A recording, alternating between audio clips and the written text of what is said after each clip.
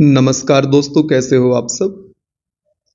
आप में से काफ़ी सारे विद्यार्थियों का प्रश्न अभी भी यह है कि पटवारी के एग्ज़ाम में कंप्यूटर डिप्लोमा जैसे कि डीसीए या पीजीडीसीए को योग्यता के रूप में मांगा जा रहा है या नहीं? तो दोस्तों, पटवारी का फॉर्म भरने के लिए न्यूनतम अर्हताओं में साफ़ साफ़ लिखा हुआ है कि आपके पास सिर्फ़ दो अर्हताएँ होनी चाहिए। पहला, किसी मान्यता प्राप्त विश्वविद्यालय से स्नातक या ग्रेजुएशन की डिग्री। दूसरी अर्हता, पटवारी चयन परीक्षा हेतु CPCT score card Hindi typing एवं कंप्यूटर दक्षता सहित उत्तीर्ण होना अनिवार्य है।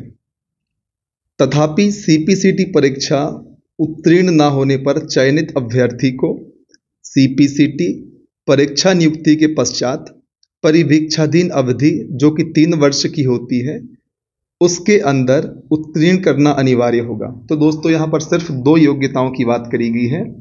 पहली योग्यता, आपके पास ग्रेजुएशन होना चाहिए।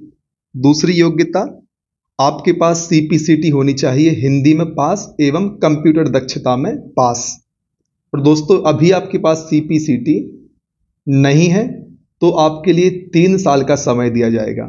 दोस्तों, पटवारी की योग्यता में साफ़ साफ़ इन दो बिंदुओं पर चर्चा करी गई है। इसमें कहीं पर भी नहीं लिखा है कि आपके लिए पटवारी बनने के लिए D C A P G D C A या किसी भी अन्य प्रकार के कंप्यूटर के डिप्लोमा की आवश्यकता है।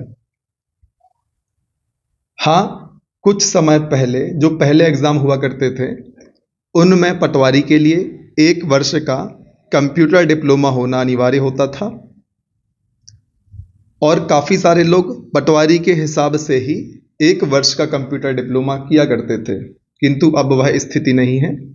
जिन दो योग्यताओं का उल्लेख अभी पटवारी के लिए किया गया है, वह है आपके पास एक ग्रेजुएशन की डिग्री हो और आपके पास सीपीसीटी का स्कोर कार्ड हिंदी टाइपिंग एवं कंप्यूटर दक्षता में पास होने का होना चाहिए।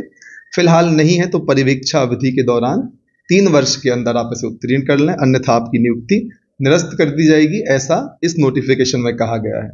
तो दोस्तों, इसी प्रकार की महत्वपूर्ण जानकारी प्राप्त करने के लिए आप जुड़े रहें हमारे चैनल के साथ, लगातार मेहनत करें, तब तक ना रुकें जब तक कि आपको आपका लक्ष्य प्राप्त नहीं होता। जय हिंद, वंदे मातरम।